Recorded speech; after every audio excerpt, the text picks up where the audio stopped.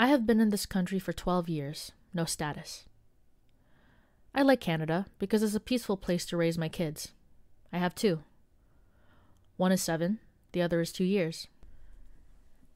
As a person with no status, most of the difficulties I confront is find a job where you can have rights. Most people take advantage as they know your status.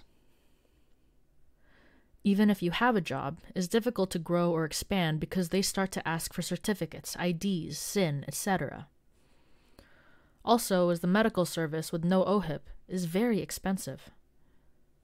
Still, with all this, I happy with the life I have here, with my family and friends, even though I miss my family. For somebody else will be easy to say go back to your country, but in our case we came here for safety issues.